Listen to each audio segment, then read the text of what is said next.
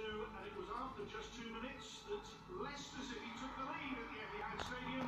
Robert Huth nipping in ahead of Martin Demichelis. And the man who was eventually given the man of the match for this game, deservedly giving Leicester the early advantage. Jamie Vardy coming into this as the league's top scorer. The pace to get past Otamendi, squaring it there for Okazaki, nearly two for Leicester. Manchester City did have so much of the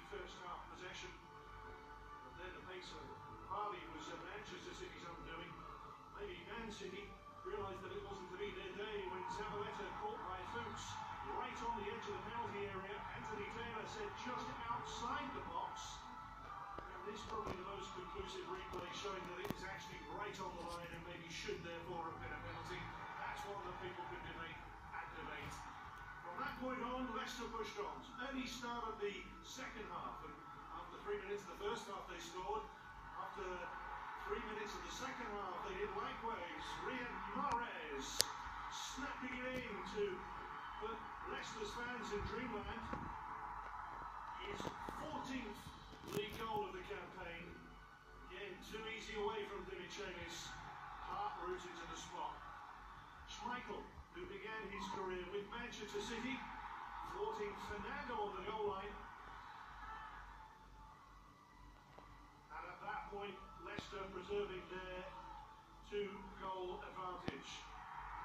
Manchester City wanted to know about Leicester's credentials, well, they got Maynooth, and nothing but Maynooth. 3-0 at that point, and the giant German climbing to rise and power his header past Joe Hart.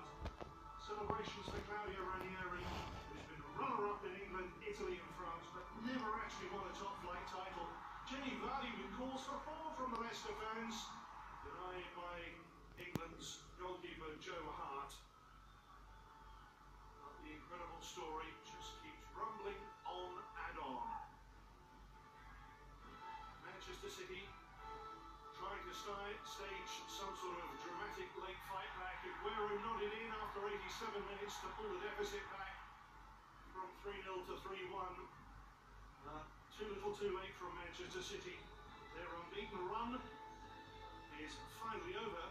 Just a suggestion there that he might have been offside as that ball came in. Manchester City suffering their first league defeat of 2016. Aguero couldn't follow it up with a second for him. And Leicester all smiles as they closed out the victory here by three goals to one. Well, a quick look at the summary stats on this. 66% of the possessions of the home team, but just four attempts on target. Fixtures for Leicester, notably that away fixture coming up against Arsenal